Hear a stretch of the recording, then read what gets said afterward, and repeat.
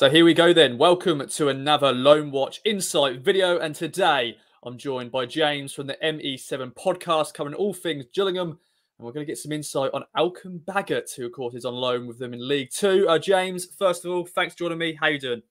Yeah, no problem. Um, as good as I could be. Um, it's probably it's probably come at a right time for us not to play this afternoon. um, we're not scoring that many goals. Um, we're not keeping them out in the net either. So um, it was probably a welcome that we're not going to Crawley this afternoon, even though, believe it or not, they are actually below us. So um, we, we, we probably missed the trick. yeah, mate. It's um when I was doing some research for for Elkan and looking at Gillingham in League Two. Of course, you guys now back in League Two, unfortunately after relegation last year, and Neil Harris, you know, th- you know, twenty first in the league. Um, it's been interesting grounding for probably for about um Elkan Baggott, and I want to get your thoughts on him signing first of all in the summer because you know, he hasn't really played much first team football at Town. He had a loan spell at Kings Lynn and National League a season prior to that. Um, so, what was your first thoughts when he signed? Yeah, it was an interesting one because um, you you don't often see um, players getting getting signed from on loan, certainly from the level above. Um, you often see that uh, if they're if they're getting if they're getting loaned into into a League Two football club, it's usually from from a Premier League team um, or or a, a, top championship side. Usually, you get their under 23s. So it was quite interesting that we went for a for a centre half from a from a top league one one club like yourself. Um, and and it and then when we looked into it, um, obviously the responses once well once Elkan had signed, um, the responses from from you, you guys was was that he he is a, a top quality centre half and, and, one day will be will be in your first team. Um, and and we're starting to see that now. We're starting to see that uh, that that come to fruition. Um, even though he's we are 21st in League Two at the moment. Um, he's been one of the shining lights so far this season. Um, he, he, yeah, he he's been he's uh, for, for a for a 19 year old 19 year old boy. He, he's been playing like he's 25, 26, and, and certainly been one of the standouts.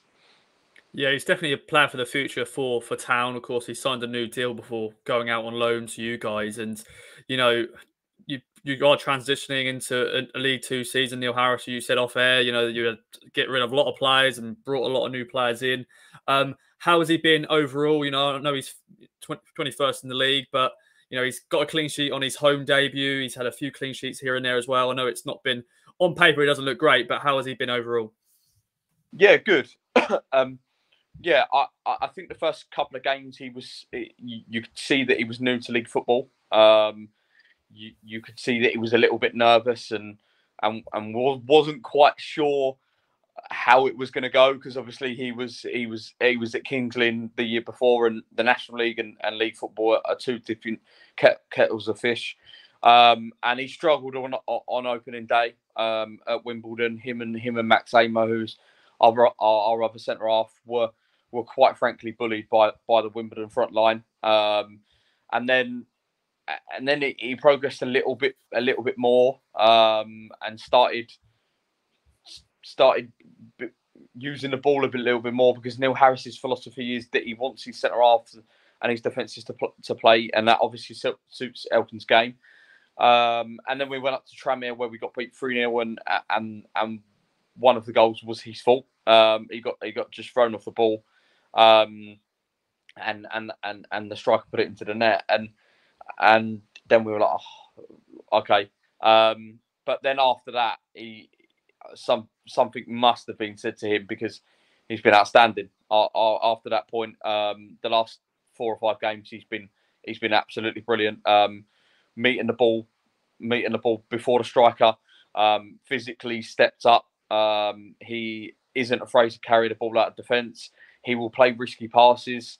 Um, he's confident on the ball.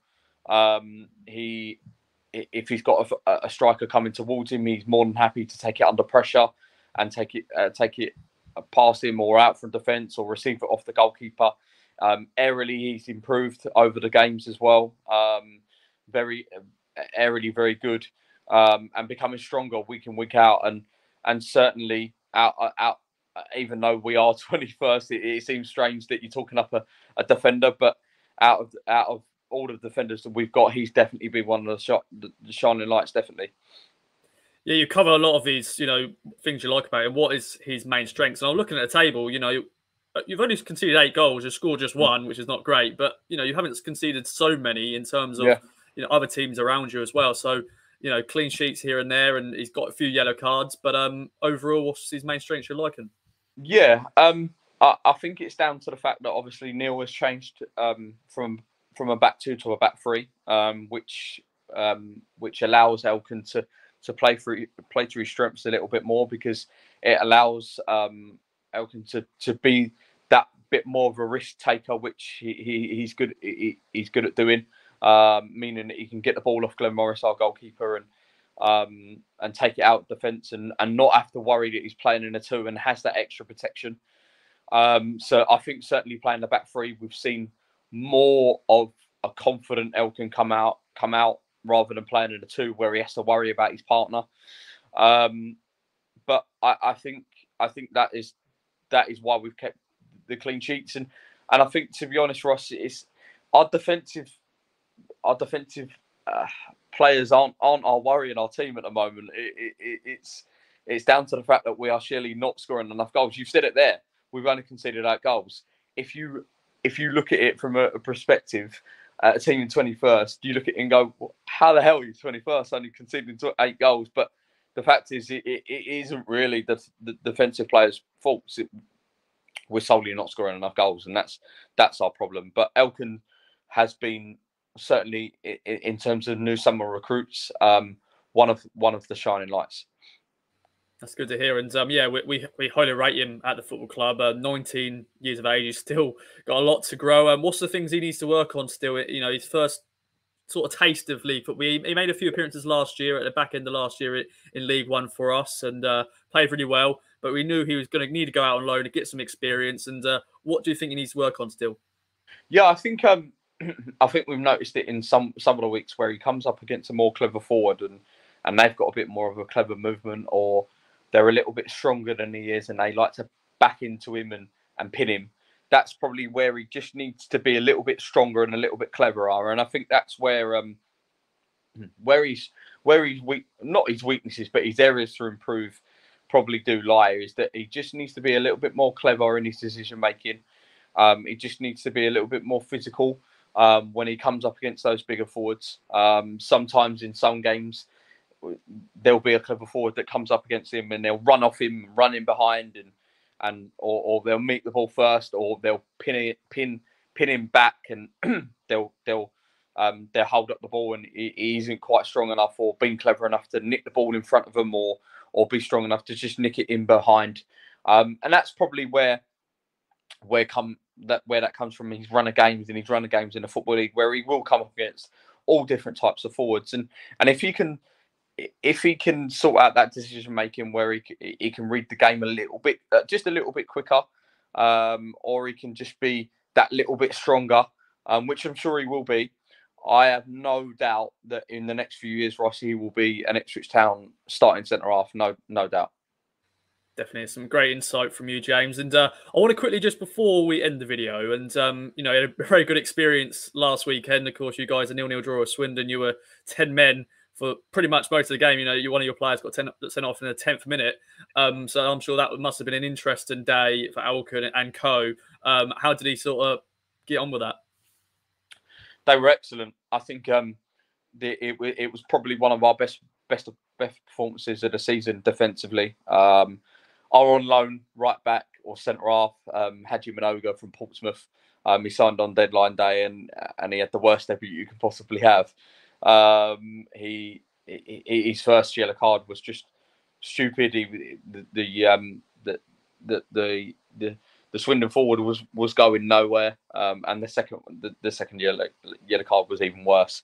I don't know if you if you've managed to see it, but um, he he, he just he, he's going nowhere, and he decides to take him out. Um, but I thought the the um, with, um, Hakeeb Hakeeb Adelakun, who we've who we've gone on on signed on loan from Lincoln, um, had to had to come come in a, a right back. So it ended up being um, a back four of Hakeeb, um, Max Ehmer, Elkan, and Ryan Law and and them four all afternoon for 80 minutes were absolutely outstanding. Every single ball that was thrown into the box, every single block, every single tackle, everything they had to do, they were absolutely outstanding. And one of one of the performances that one of the best defensive performances we've seen in a number of years at, at Priestfield for for sure. They were absolutely brilliant, um, and we had we nearly had a couple of chances to to, to nick it as well. So. Um, yeah, and and that showed uh, uh, in terms of a personnel performance from a ten men Elkan side of it. Um, that showed a different side to the game where you have to dig in. This is about the this is about the team now. It's not about an individual performance. And and he, he, he dug right in. He stuck with his teammates. Um, and he was him and him and um, the other the other Gills boys were absolutely outstanding last Saturday afternoon. Um, couldn't fault them at all.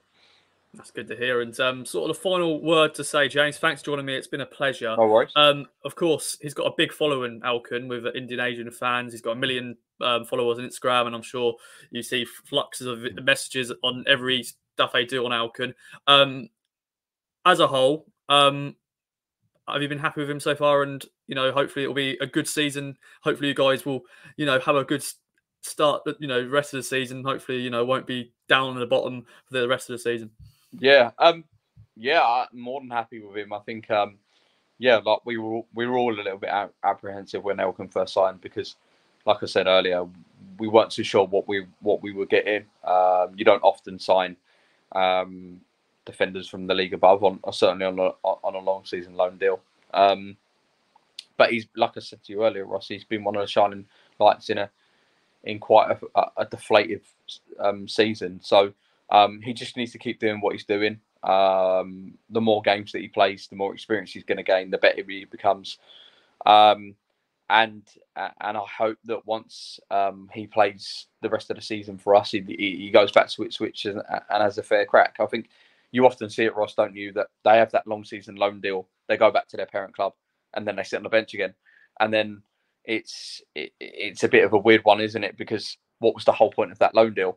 Um, and so I think it's really, really important that if Elkan does continue how he's going, he does go back to you guys and plays regular football. And if he doesn't, then he, he needs to maybe look at look at what his options are. But I'm really happy with him at the moment. He needs to just continue what he's doing, um, and hopefully he can play a part in in what.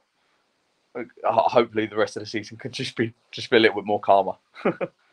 Definitely, man. Hopefully, a nice bullet header here and there, a few goals from set pieces. Yeah, I'm sure it'll be good to, to, add to his game. And uh, yeah. and yeah, I'm sure we'll catch up um, later in the season because it'll be good to know more about him throughout the season. Hopefully, you guys yeah. will be in a better position. But um, James, thanks for joining me, my friend. No worries. All the best, oh, man. Well, well, thanks everyone for watching as well. Let us know your thoughts as well. If any other Gillingham fans watching, let us know your thoughts on Elkan's so far. See you next time. Bye bye for now.